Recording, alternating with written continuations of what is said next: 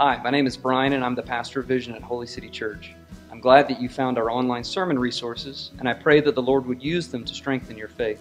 I would exhort you not to use our online sermon resources as a substitute for regular involvement in your own local church.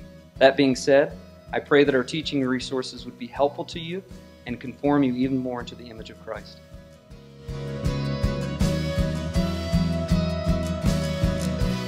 Let's look at 1 Corinthians 10 1 to 14. We'll read 1 Corinthians 10 1 to 22.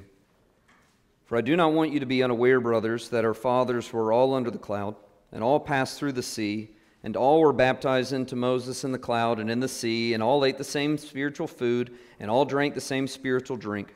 For they drank from the spiritual rock that followed them, and the rock was Christ.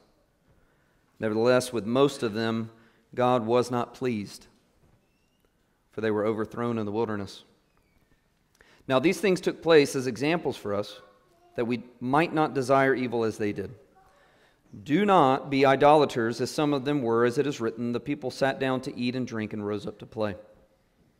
We must not indulge in sexual immorality, as some of them did, and 23,000 fell in a single day. We must not put Christ to the test, as some of them did and were destroyed by serpents, nor grumble, as some of them did and were destroyed by the destroyer. Now, these things happened to them as an example, but they were written down for our instruction, on whom the end of the ages has come. Therefore, let anyone who thinks that he stands take heed lest he fall. No temptation has overtaken you that is not common to man. God is faithful, and he will not let you be tempted beyond your ability. But with the temptation, he will also provide the way of escape that you may be able to endure it. Therefore, my beloved, flee from idolatry. I speak as to sensible people. Judge for yourselves what I say. The cup of blessing that we bless, is it not a participation in the blood of Christ? The bread that we break, is it not a participation in the body of Christ? Because there is one bread, we who are many are one body, for we all partake of the one bread. Consider the people of Israel. Are not those who eat the sacrifices participants in the altar? What do I imply then? That food offered to idols is anything, or that an idol is anything? No. I imply that what pagans sacrifice they offer to demons and not to God. I do not want you to be participants with demons. You cannot drink the cup of the Lord and the cup of demons. You cannot partake of the table of the Lord and the table of demons. Shall we provoke the Lord to jealousy? Are we stronger than He? It's October, which means that scary movies are playing on TV now. Happened to see that after the Clemson game last night. And it reminded me of a Geico insurance commercial from a few years back. Features a group of four terrified young people who are running late one night out of a farm field. And they're trying to escape something or, or someone, and they come across this creepy old two story house with a, with a even worse looking shed right next to it, full of chainsaws that are hanging up. And one guy says, Let, us hide in the attic. And, and one of the girls says, No, no, no, let's, let's hide in the basement. And one girl responds, crying, Why can't we just get in the running car? And she points over, and, and there's a convertible, cranked, headlights on, running, the top's down. All they got to do is jump in and drive away. As they all look at the convertible and then turn back to the girl. One man says, Are you crazy? Let's hide behind the chainsaws. and they all respond, Smart, yeah, okay. At which the Geico narrator says, If you're in a horror movie, you make poor decisions. It's what you do. And with a lot of scary movies, not that I'm commending them to you, but they're, they're lampooned so frequently, in part because of a, a very annoying feature in, in most of them. You see the same kind of plot line and the same kind of bad judgment repeated over and over again. At some point, it's, it's like may, maybe you shouldn't move from the big city out into the country to buy that one house where all the former owners have been disappearing. Maybe you just shouldn't do that. Maybe, maybe just don't investigate that creepy sound in the basement. You just want to shake the characters. Have you ever seen a scary movie before? Why are you making these same mistakes? In 1 Corinthians 10, Paul is continuing to address the problem of the Corinthian church's participation in idolatry. And in verses 1 to 14, Paul will point the Corinthians and us to the story of Old Testament Israel and ask us Haven't you seen this story before? Why are you making the same mistakes? Shouldn't the repetitive failures of Old Testament Israel warn you against the sin in which you now participate? Paul wants the Corinthians, particularly the knowers, and, and the Lord wants us to see their situation rightly, to see their situation as it is. And in the text, Paul exhorts us to turn from the bad judgments that lead us to forsake Christ and pursue idolatry in order that we might enter the new creation. And it's been a while since we looked at 1 Corinthians, so let's recap the past few chapters. Paul's making one argument in 1 Corinthians 8 to 10, addressing a particular issue. There's a group of Corinthians we've called the knowers who have the knowledge and understanding that all food is a good gift Food doesn't commend us to God. Idols don't exist. There's only one God. These knowers are in the idol temples, freely eating food that's been offered to idols, harming another group of saints who Paul describes as those who are weak in conscience. The weak, because of their past association with idols, cannot, under any circumstance, ever eat food that's been sacrificed in a pagan temple or to idols. The knowers think they have a right to eat idol food in the pagan temple.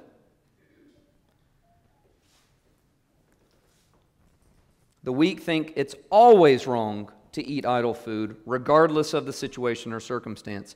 And both groups are mostly wrong. But the knowers are in greater sin. In 1 Corinthians 9, we saw that th- this is a core part of Paul's argument. Paul shows how, despite his being an apostle of Christ Jesus, he has intentionally laid down his actual rights, the rights that he does deserve, in order to serve the Corinthians and advance the gospel. Paul had a a right to financial support from the church. Paul had a right to a wife. Paul had a right to food and drink, but he gave it all up so that he could present to the Corinthians the clearest picture of the free gospel of grace that the Lord gives us in Christ alone. And the spirit empowered intensity of Paul's gospel focused we saw at the end of chapter 9, far outpaces Olympic athletes. Singular focus on Christ and Him crucified and making Him known. Paul's overarching aim was to do whatever he could in the power of the Spirit to see the gospel advances to the ends of the earth. And, and that's our responsibility as Christians in the Great Commission and Paul is the model for us and for the Corinthians. And as we turn to 1 Corinthians 10, we'll then begin to see why Paul intentionally lays out his mindset, his actions, which are both models for the Corinthians to imitate. Paul describes his new covenant mindset to help the Corinthians see the lengths to which he will go in order to advance God's kingdom and inherit the new creation. Paul has a singular focus, but then you look at the Corinthians and you immediately see double mindedness. The Corinthians want, want, want Jesus and a little bit of the world. They want salvation and, and a little bit of idol worship.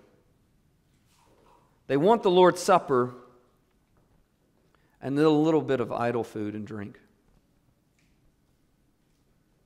They want the glory of the new creation. But they, but they really want some glory in the old creation, this present world, too. So Paul gives them a lesson in biblical theology. He's going to look at the overarching story of the Bible and say, we need to learn from Israel's time in the wilderness. So he's going to highlight God's redemption of Israel through the Exodus. He's going to highlight the results of Israel's double mindedness in their responses to Yahweh's grace because he's trying to win the Corinthians out of sin. Three points this morning. Uh, you, we do have sermon notes in, in the app if you uh, have the app. But three points are this. First, live a redeemed life that pleases God. Live a redeemed life that pleases God. Let's looking at the first five verses. Live a redeemed life that pleases God. Second, obey God's warnings so that you might live. Obey God's warnings so that you might live. And that one we're going to be looking at verses 6 to 11. Obey God's warning so that you might live. Third and finally, flee idolatry because God will keep you. Flee idolatry because God will keep you. That's verses 12 to 14. Flee idolatry because God will keep you. All right, first point. Live a redeemed life that pleases God. Let's look at the first five verses again in chapter 10. For I do not want you to be unaware, brothers, that our fathers were all under the cloud, all passed through the sea, and all were baptized into Moses in the cloud and in the sea, and all ate the same spiritual food, and all drank the same spiritual drink. For they drank from the spiritual rock that followed them, and the rock was Christ. Nevertheless, with most of them, God was not pleased, for they were overthrown in the wilderness. In this first point, I, I want to look at, at two points that Paul makes for the Corinthians. I wanted to look at more, but I preached too long anyway. I want to look at two points that Paul makes for the Corinthians, as well as the concluding exhortation he implicitly gives them by looking here. All right, first, Paul wants us to rightly see the story of Israel's redemption. He wants us to see rightly the story of Israel's redemption. That's the first four verses of chapter 10. The people of Israel were brought out of slavery to Egypt through the Exodus. Yahweh the Lord had judged the land of Egypt through various plagues, culminating in the tenth plague, where all the firstborn in the land were struck down. Unless, in trusting his promise, you put the blood of an innocent lamb on your doorpost, and the destroyer passed over your home, and your firstborn lived.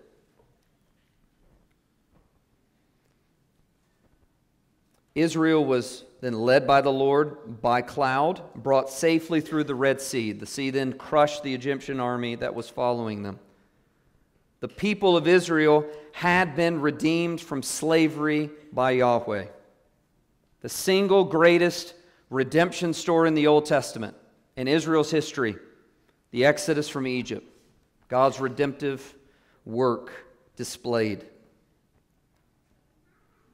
Paul uses this imagery of being brought safely through the waters to describe ancient Israel as having enjoyed a baptism into Moses.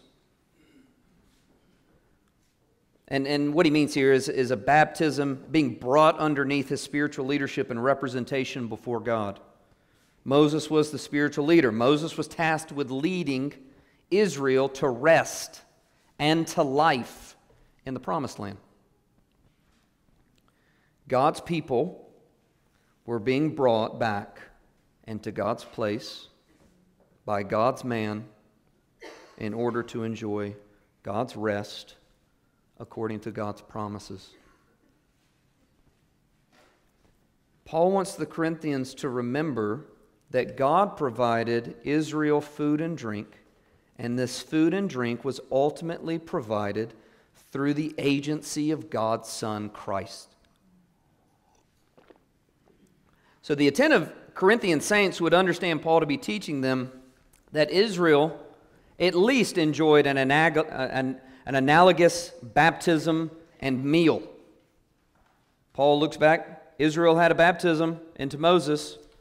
Israel enjoyed a spiritual meal from Christ. And the Corinthian saints would be like, wait a minute. I've enjoyed a baptism. I've enjoyed a spiritual meal from Christ. There were numerous similarities between God's redemptive work in Old Testament Israel and his redemptive work within the Corinthian church. That's intentional. We're going to get to that in the second point. So, Paul first wants them to see God's redemption of Israel. Secondly, in these five verses, Paul teaches us that despite Israel being redeemed from slavery, despite them enjoying a special baptism and a special meal from Christ, God overthrew Israel in the wilderness because he was not pleased with them. Verse 5. So, Paul gives us here a category for God expressing displeasure towards his redeemed people. That really forms the, the basis for the, the rest of the warning. Don't live in such a way that you displease, uh, displease the Lord and miss the kingdom. Because Israel did, a generation in the wilderness. Why does Paul make a point of explaining that Israel enjoyed a baptism and a spiritual meal? If Israel had been redeemed from slavery, enjoyed baptism, enjoyed a spiritual meal from Christ, but failed to enter God's rest because of unrepentant idolatry and disobedience, what makes the Corinthians think they can do the exact same thing but get different results? Isn't that the definition of insanity? Doing the same thing over and over again and expecting a different result? If God overthrew Israel, Paul writes, what makes you feel safe if your life is patterned by unrepentant sin? Saint? And this is not different than the warning of the author of Hebrews in Hebrews 2, verses 1 to 4. He's already made an argument. The Son of God is far supreme, His supremacy is, is far greater than that of angels who mediated the old covenant. He's, great, he's the greater David. The new covenant of Christ is better in every way than the old covenant of Moses. So, what's the implication? Hebrews author writes in verses 1 to 4 of chapter 2 Therefore, we must pay much closer attention to what we have heard, lest we drift away from it. For since the message declared by angels, the Old Covenant, proved to be reliable, and every transgression or disobedience received a just retribution, how shall we escape if we neglect such a great salvation? If they got punished for for an, a covenant mediated by angels, and the Son is far, far better than angels, what do you think is going to happen to you if you disobey His new covenant? It was declared at first by the Lord, and it was attested to us by those who heard, while God also bore witness by signs and wonders and various miracles by gifts of the Holy Spirit distributed according to his will. Everything has escalated from old to new. Corinthians don't understand that, or at least they've forgotten. So, what's the implicit command here from Paul? If he's teaching them, Israel enjoyed a form of all the things that you enjoyed. They rejected it, committing adultery and unrepentant sin, and God overthrew them in the wilderness. They didn't reach the promised land, they didn't enter God's rest. What, what, what do you think that you're doing by doing the same? In this new covenant of Christ. So, what's the implicit command from Paul here already before he, he gets into really nailing Israel and the Corinthians? Live a redeemed life that pleases God. Like, Israel's a negative example. They were redeemed out of slavery to Egypt, and they disobeyed, and it displeased God, and they were overthrown. What's, what's Paul's implicit command here for the Corinthians and for us?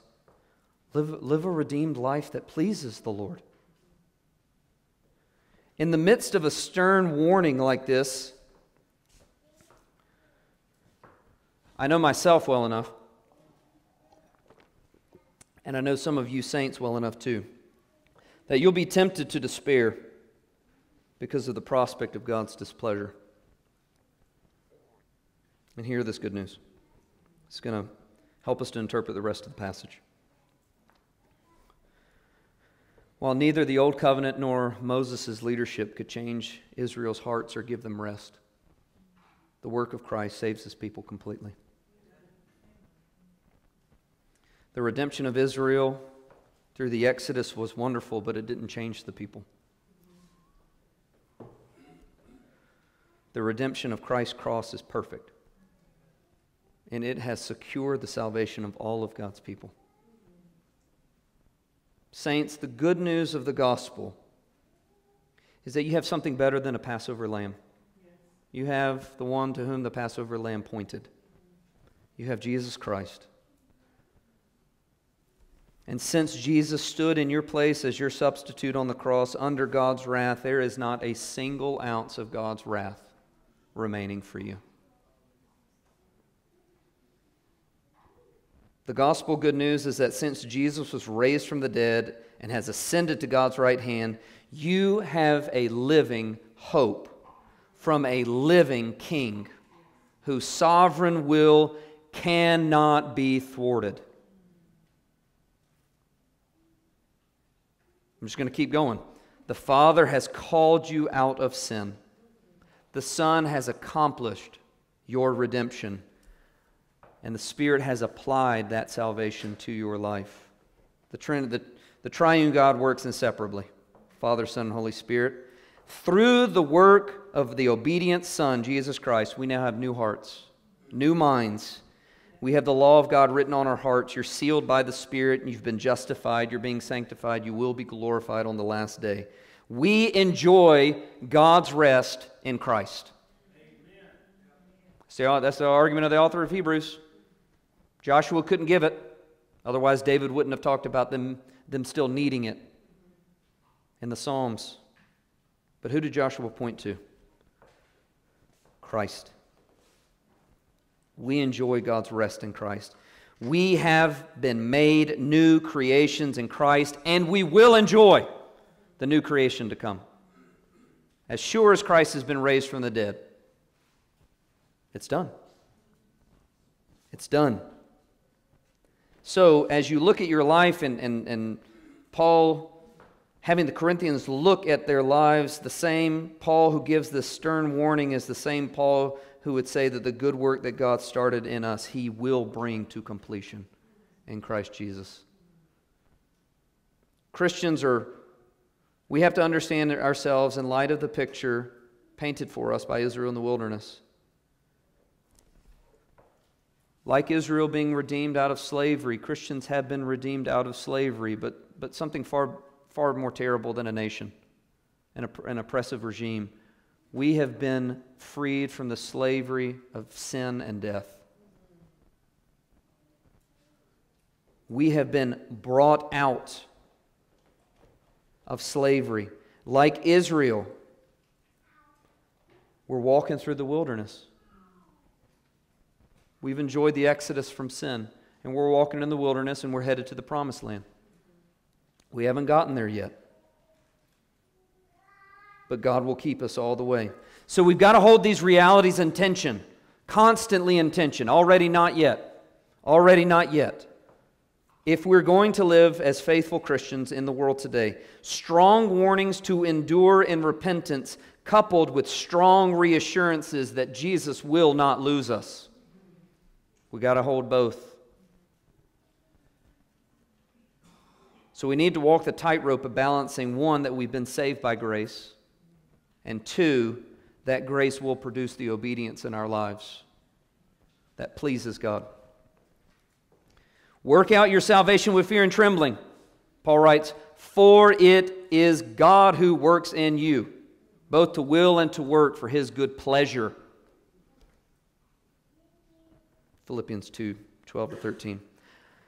So, at the risk of being misunderstood, our good works do not save us, but we must bear the fruit of good works in our lives if we are to inherit the kingdom. Since we're new people, we now have the ability to live lives that please the Lord. But, but uh, you know, I, I, can say that and say, oh, the Spirit will help you apply it. W- what pleases God? What pleases God? It's really important for us to not have God's displeasure upon us, like Israel did in the wilderness. What pleases God? Better yet, who pleases God? This is where right knowledge must inform right action, okay? This is, we need, we need to be careful here. You know, the knowers thought that they knew things, and Paul says, hey, I don't want you to be ignorant. I don't want you to be unaware.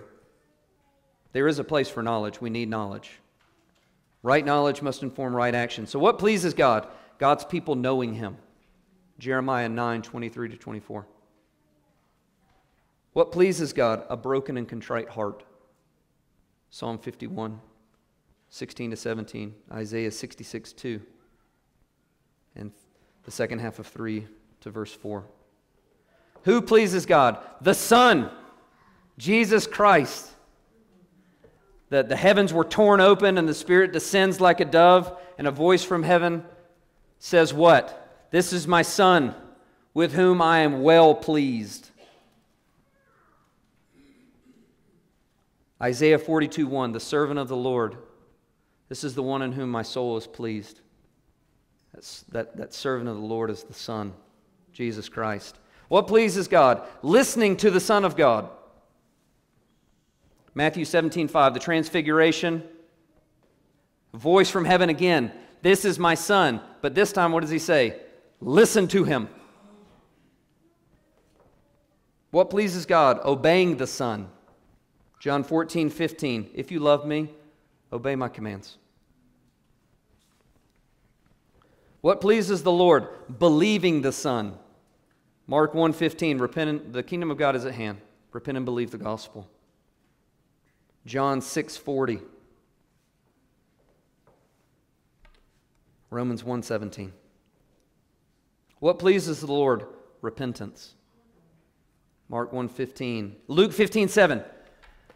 God, God will go after the one straying and leave the 99 because heaven will rejoice over one sinner who repents more than 99 people who are justified in their self righteousness.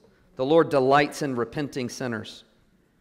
What pleases the Lord? Being generous, particularly to God's people. God loves a cheerful giver. 2 Corinthians 9 7. What pleases the Lord? Godly speech and caring for widows and orphans.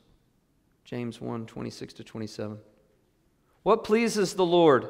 Godly hus- husbands who live with their wives in, un- in an understanding way. Otherwise, God will ignore their prayers. 1 Peter 3 7. What pleases the Lord? Submissive wives with gentle and quiet spirits.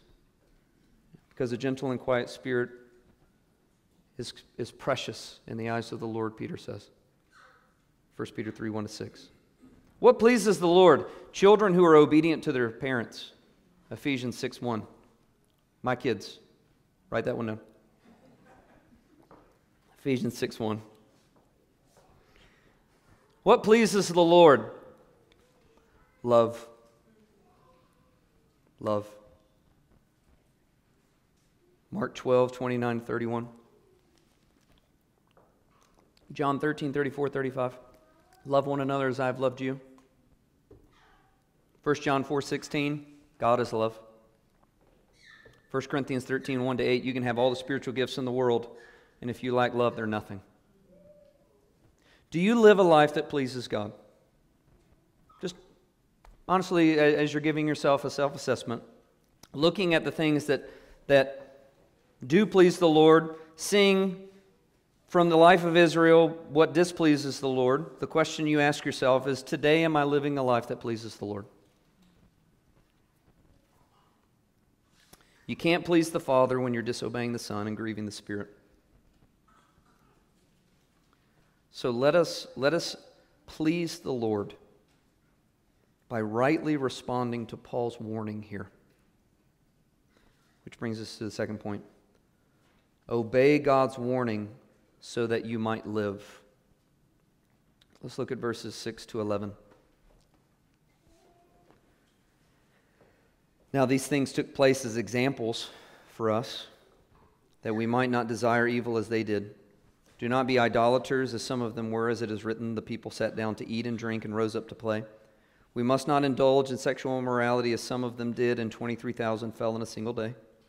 We must not put Christ to the test, as some of them did, and were destroyed by serpents, nor grumble, as some of them did, and were destroyed by the destroyer. Now, these things happened to them as an example, but they were written down for our instruction on whom the end of the ages has come. In this section, it is very important that we understand God's divinely intended warning against four different expressions of unbelief in Israel's history. Okay? Verse 6 now, these things took place as examples for us. You see the word translated examples. In the Greek, that's tupos, which we translate as types. Now, these things took place as types for us that we might not desire or lust after evil as they did. The redemption of Israel, as well as their subsequent disobedience, and being overthrown in the wilderness took place as types or as typological examples for us. So, to understand what that means, we need to understand biblical typology. Okay, uh, last week I was teaching this to MDiv students at Southern Seminary in class. It's, it's a lot, but it's very important. The Bible uses the word type or antitype in a handful of places in the New Testament. Romans 5:14. Adam is a type of Christ. Hebrews 8:5 and 9:24. The Levitical sacrificial system with its priesthood, temple sacrifices is a type of Christ. 1 Peter 3:21, Noah's arks surviving the worldwide flood, that is a type of the baptism we enjoy in Christ. Biblical typology, which is just typology without the E, biblical typology, this is important, is divinely intended symbolism that points forward to its future fulfillment in Christ. Let me say that again. Biblical typology is divinely intended symbolism. God put it there intentionally. Why? To point forward to its fulfillment, future fulfillment in Jesus Christ. All right, this is important. Typology, typology is not allegory, okay? Typology is not allegory. Allegory is giving a meaning to a text that's totally divorcing it from its context. Okay? Allegory is giving a spiritual meaning that is totally divorced from the intentions of the author. For example, in the early church, Rahab in Jericho, her scarlet cord that she wrapped at her window was pointing forward to the blood of Christ that would be shed on Calvary. No, it was not. That is allegory. It's okay to, to interpret things allegorically if it's an allegorical piece of literature like Pilgrim's Progress. That's allegory. You're supposed to interpret it as such. Do not interpret the Bible allegorically. That is a no no. If I see you doing it, I will wag my finger at you, especially you, Robin. No allegory. Typology is not allegory. Biblical typology was intended by God because He's the divine author. It only works if there's one divine author across the entire canon. Biblical typology is a person, place, event, or institution that serves as, a, as an organic, predictive prophecy that points forward and finds its ultimate fulfillment in Jesus. So th- this, is, this is why it's important. typology isn't just analogy. Paul's not just saying, oh, you know what? The, the church is kind of like Israel. Or, you know what? I'm looking at the Bible and Adam's kind of like Jesus. The uh, biblical authors are not saying that. Biblical typology means that God intentionally used Old Testament people, places, events, and institutions to point forward to Jesus so that we might understand the redemption that He provides. For example, the Exodus. Marriage. Paul's already addressed that in 1 Corinthians 6 and 7. One flesh union. The Exodus. The Exodus was intentionally given in the book of Exodus to understand the kind of freedom from slavery that God would provide in Jesus. You see it in Exodus, and then the same kind of Exodus language, God delivering his people from slavery, is repeated across the canon, across the Old Testament, through the, through the prophets. And then the New Testament writers will come and say, Hosea, out of Egypt I called my son, and, and Jesus fulfilled it. Well, Hosea is talking about the Exodus. And Matthew's like, exactly. exactly. Because the Exodus is fulfilled in Jesus. He brings a better Exodus. The whole point of the Exodus was for you to see that Jesus saves his people from slavery. It's divinely intended. The book of Hebrews is chock full of typology. So if you want to read some, read the book of Hebrews. The author of Hebrews helps you to see how Jesus fulfills the priesthood.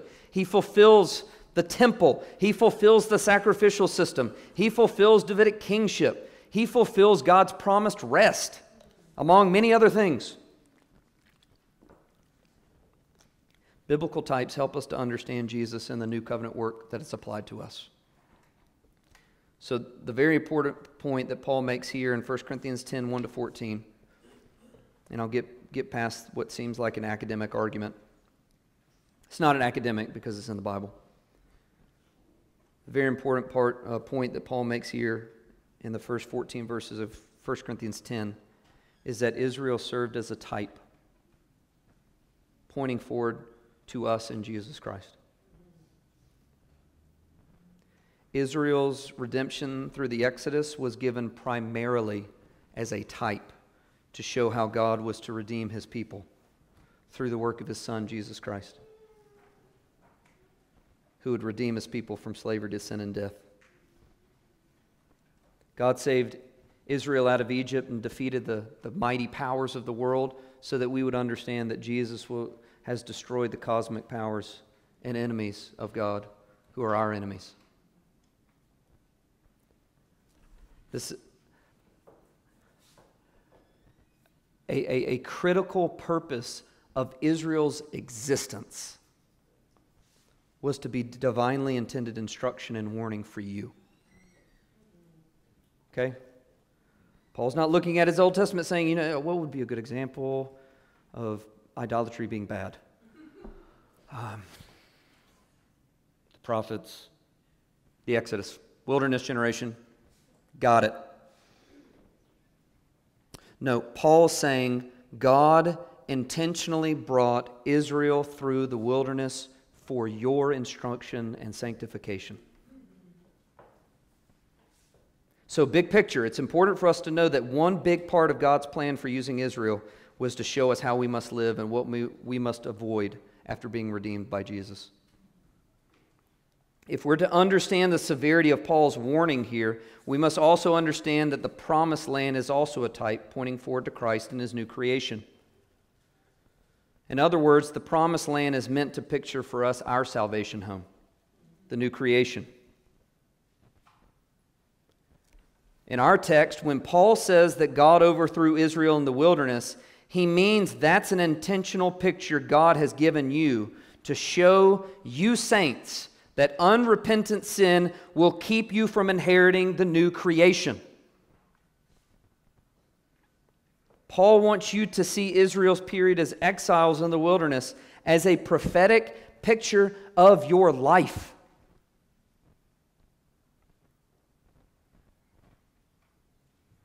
You've been exiled and, and now you're headed home. None of, us, none of us have arrived yet.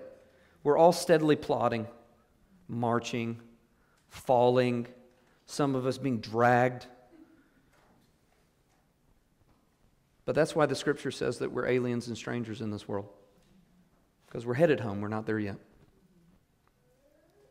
Israel's time in the wilderness, therefore, was intended by God primarily to serve, to show the salvation in Christ, and to serve as our instruction for how to remain faithful to Jesus. Isn't that remarkable? Honestly. Isn't that remarkable? Like, God had your salvation in mind when He was walking with Adam and Abraham and Moses and Israel.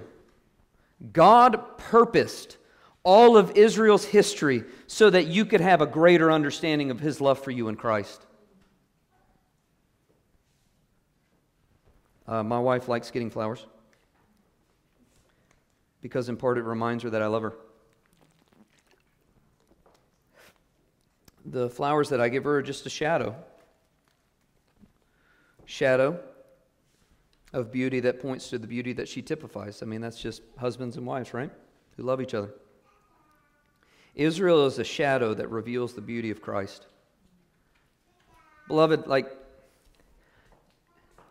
God gave you an entire nation, Israel, her history, her priests, her sacrificial system, her kings, her prophets, her redemption from slavery, her spiritual meals, her covenant signs, all of it, beloved, in order to show you how much He loves you in Christ Jesus. In order to show my affections to my wife, I buy flowers that were cut from the ground and will soon die. In Christ, God has orchestrated human history, the entire redemptive storyline, in order to show you, Christian, the love and salvation that He gives you in His Son. You are so loved. You are so loved in Christ. And part of the way He loves us is warning us. Look at verses 6 and 11. Now, these things took place as types for us, that we might not desire or lust after evil as they did. Verse 11 Now these things happened to them as an example, but they were written down for our instruction, on whom the end of the ages has come. These two verses serve as bookends. Everything in between them should be interpreted by those two bookends because he's using the exact same language. The pattern of redeemed Israel's living while in the wilderness and headed to their promised rest in land was one of lusting after various evils. They were consumed and overcome by evil desires and actions. Four different ways Paul describes for the Corinthians and for us in Israel's wilderness period. First, verse 7 Israel was overthrown because of their idolatry. Therefore, we must flee idolatry. He quotes Exodus 32. People rose up, eat and drink and play. Israel makes a golden calf and claims that it's the God who saved them from Egypt because they're, they're too antsy and, and won't wait for Moses to come back from the mountain top. Israel ate and drank and celebrated in the presence of this idol. Many of them were re- destroyed as a result. What's the context of the knowers in Corinth? They are eating and drinking and celebrating in the presence of Corinthian idols. What's Paul's warning here? Don't, don't be idolaters as some of them were. Don't be idolaters. If Israel didn't escape destruction because of their idolatrous meal, what makes you think you're safe?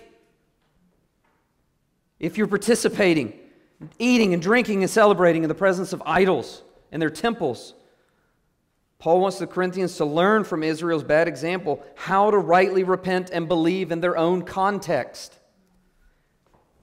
Israel didn't make it to God's place because of idolatry. And neither will you if you play with idols.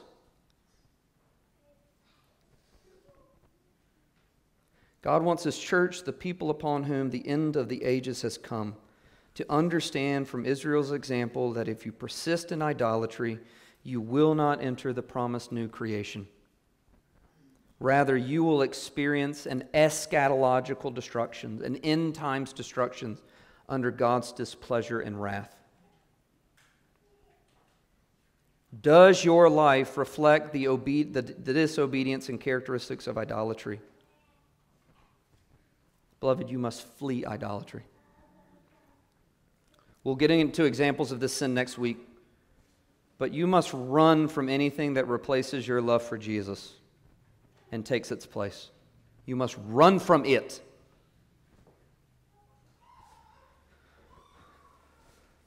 And we're going to talk in detail about this next week, but flee from idolatry because you, you become what you worship. We read it in Psalm 135 today, Psalm 115. Their idols are silver and gold, the work of human hands. They have mouths but do not speak, eyes but do not see. They have ears but do not hear, noses but do not smell. They have hands but do not feel, feet but do not walk, and they do not make a sound in their throat. Those who make them become like them. So do all who trust in them. Don't enjoy, embrace, participate in idolatry because you will become like the idols you worship. So, we, if we become what we worship, we must ask ourselves into whose image are we being conformed? Are you being conformed to the image of Christ? Or are you becoming more and more like the idols, idols of our culture? You have to answer that. Second, verse 8 Israel was overthrown because of their sexual immorality, therefore we must flee sexual immorality. In Numbers 25, the men of Israel chase after Moabite women, and what then happens?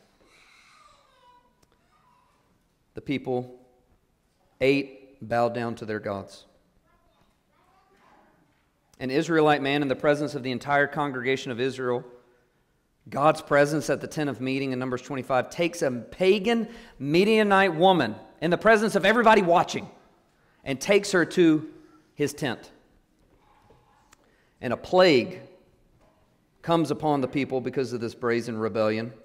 And only when Phinehas, the grandson of Aaron, the high priest, takes a spear and kills the couple in the act, does God's plague then stop.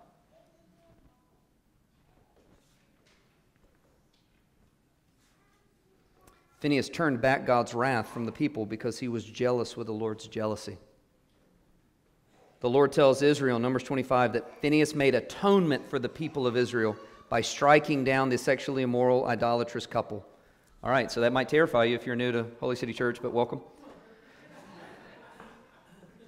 We must be killing sexual immorality in us and in our local church. In the new covenant of Christ, we don't kill our sinful neighbors, but we are killing our sin. God is serious about sexual immorality because sexual immorality and idolatry are almost always intertwined. Paul has already said in 1 Corinthians 6 9 that the sexually immoral will not inherit the kingdom of God. You hear that stark warning and you might think, what hope is there for someone like me? The only hope for sexual sinners like you and me is the blood of Christ. I can stand here and tell you it is well with my soul, despite my past sexual immorality, because my sin, not in part, but the whole, nailed to the cross, and I bear it no more. Praise the Lord. Praise the Lord, O my soul. The cross is the only means of forgiveness for sexual sinners. But those of us who have tasted the salvation that Christ alone provides must live spirit empowered lives of sexual fidelity and obedience. We were washed. We were sanctified, we were justified in the name of the Lord Jesus, 1 Corinthians 6:11. So we live lives of purity and holiness. Because it pleases the Lord. We keep the marriage bed holy, as the author of Hebrews says. Honor God with our bodies, as Paul says in 1 Corinthians 6, because we have been united to Christ and are temples of the Holy Spirit. If you need to cut out social media, unsubscribe to streaming companies, avoid movies, get accountability software, or whatever in order to honor God with your body, do it. Do it so that, so that you'll inherit the kingdom. Like, man, I, have I've cut out social media.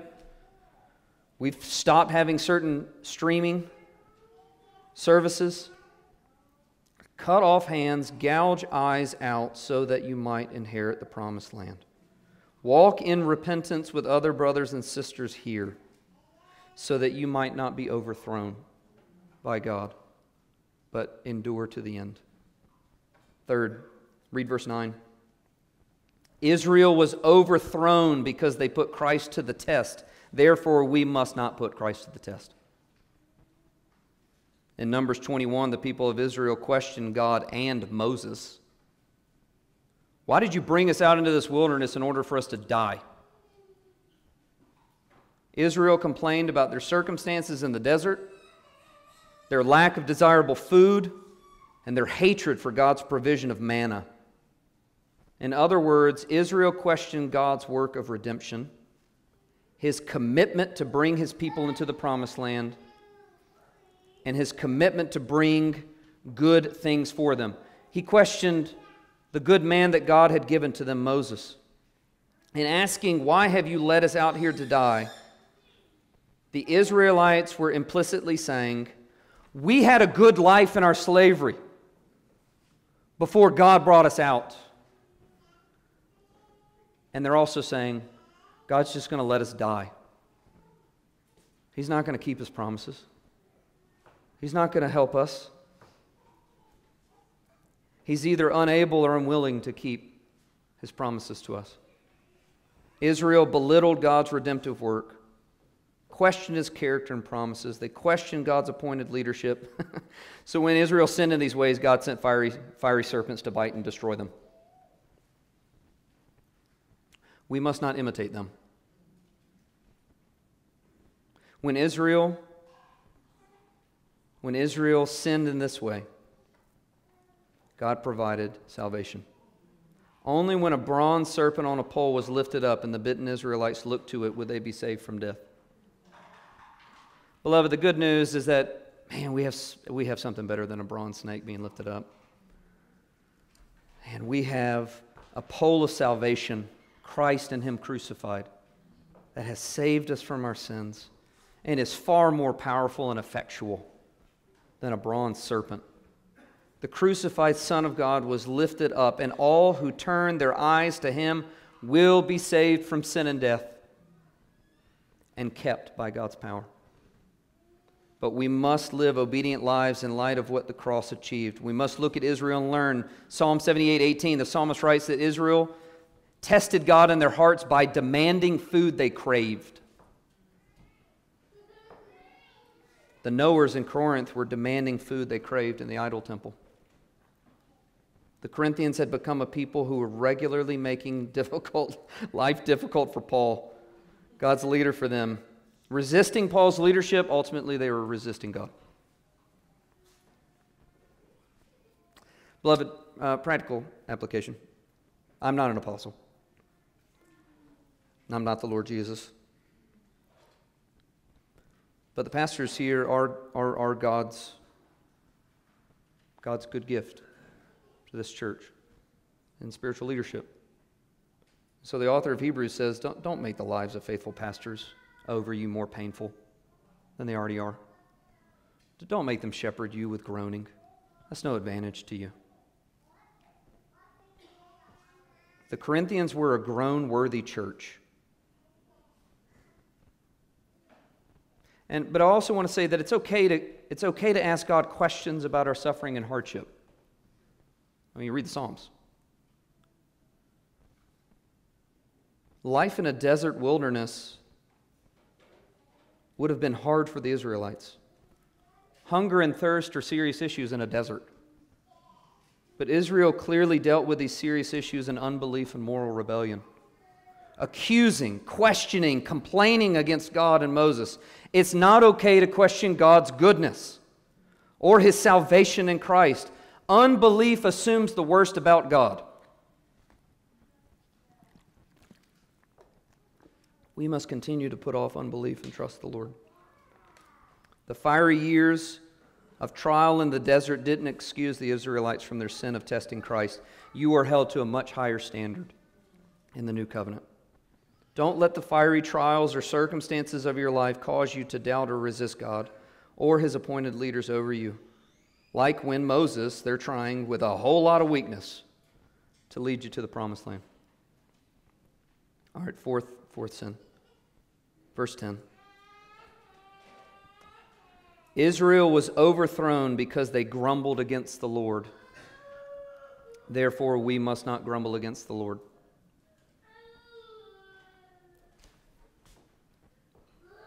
Lots of different instances of this in Israel's history, this grumbling. Numbers 11, number 16.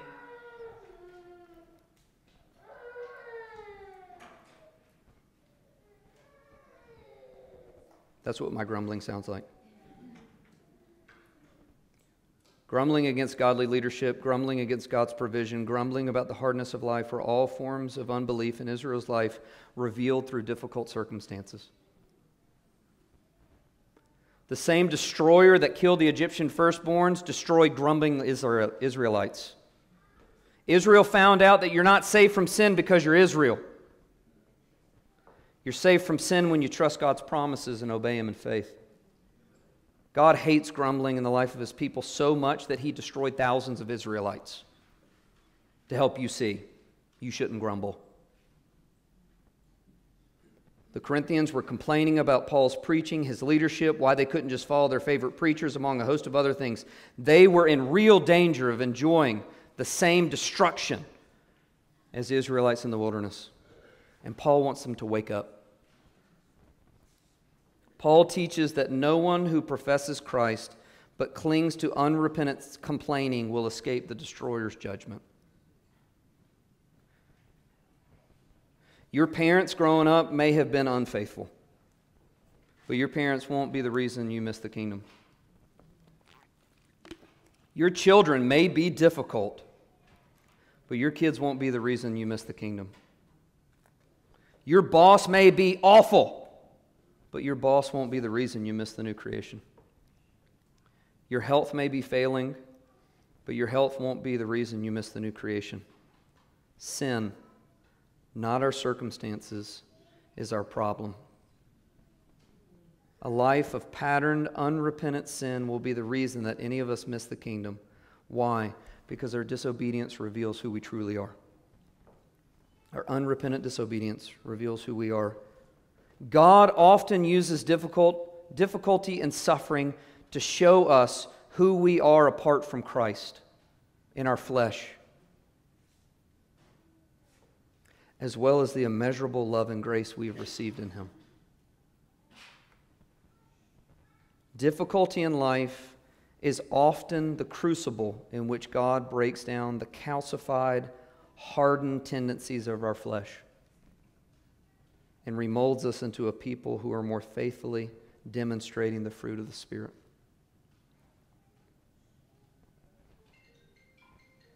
We must be careful that we don't profess to trust God's goodness and his exhaustive sovereignty and then fuss when God is using his prescribed means to bring about his promised results. And I'm guilty of this. We must be careful when that Walmart line's long and slow moving. Oh, mercy, we need to be careful when that person's driving slow in the left lane. Oh, man. In grumbling, we're ultimate, ultimately grumbling against the Lord because He's the sovereign one. We must be a people who turn from grumbling to thanksgiving because we see ourselves in light of the cross. If God didn't spare his own son, but willingly gave him up for us all, how will he not also graciously give us all things? Whether it's the grace to wait patiently in a checkout line, the grace to hold your tongue with a spouse or child, the grace to fear Him rather than to fear the unknown future, God will help you to trust Him and give thanks to Him in the midst of temptations to grumbling. Paul tells us look at, look, look at Israel. Look at Israel. whom God sovereignly gave for your instruction. Don't be an idolater. Don't be sexually immoral. Don't put Christ to the test. Don't grumble against the Lord. And the Corinthians were guilty of all of them. And most weeks I go four for four myself. Are you flirting with unbelief and idolatry? Is your life patterned by any of these realities? We must not imitate Israel. We must repent and believe in order that we might live. We must live knowing that the Christ who saved us from idolatry, sexual morality, testing Him, grumbling, is able to keep us firmly to the end. The third point flee idolatry because God will keep you.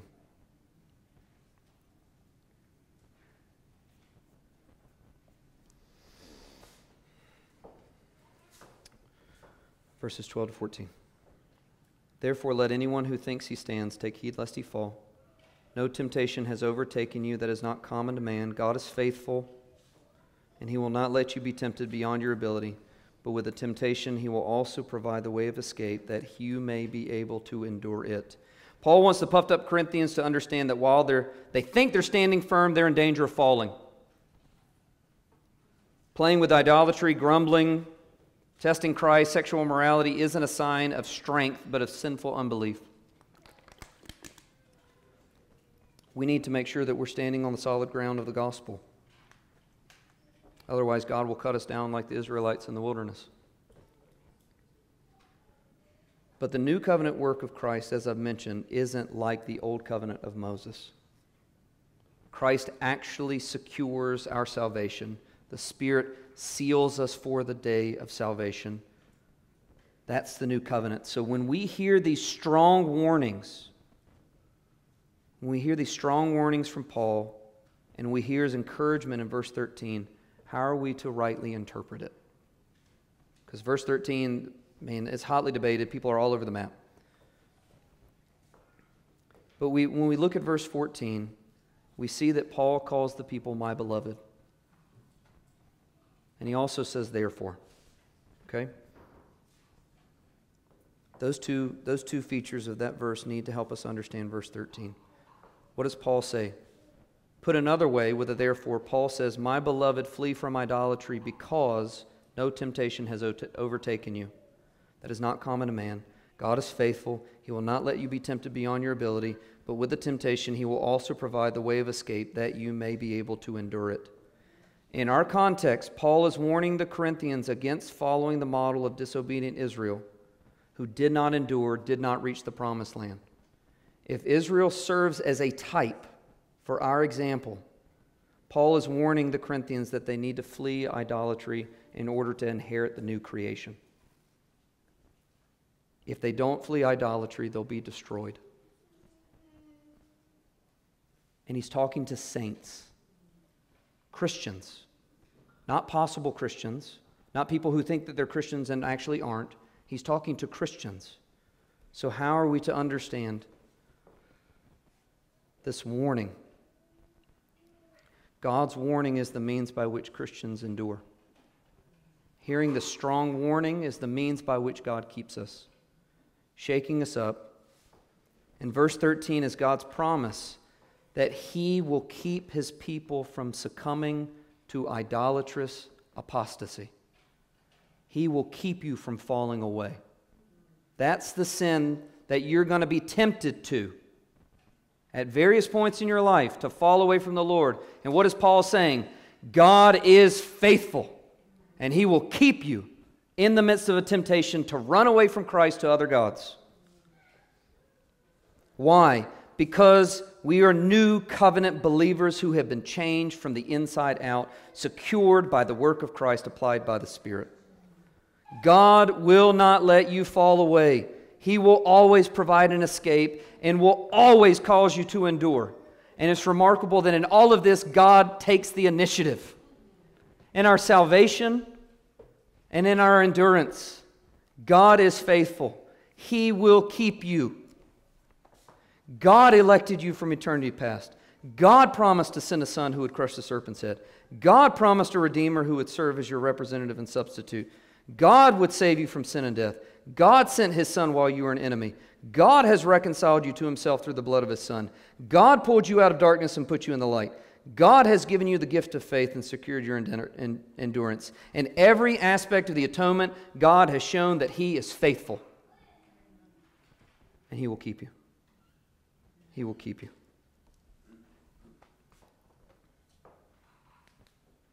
Some of you might doubt Am I a Christian?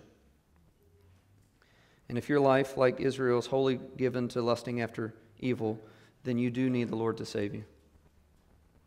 But some of you are Christians, and, and, and you're like, I, I can't be a Christian. I must not be a Christian.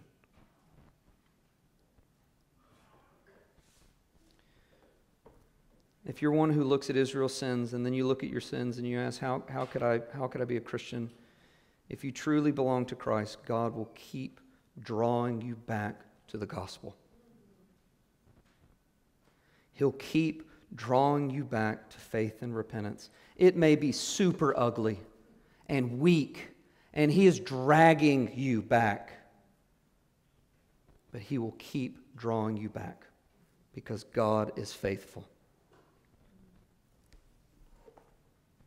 You're saved, beloved, not because of the strength of your faith, but because Christ died for your sins and He's risen. It's accomplished. May God help us to continue to turn from dead idols to the living Christ and keep us believing that because He's faithful, we are forever safe. Let's pray.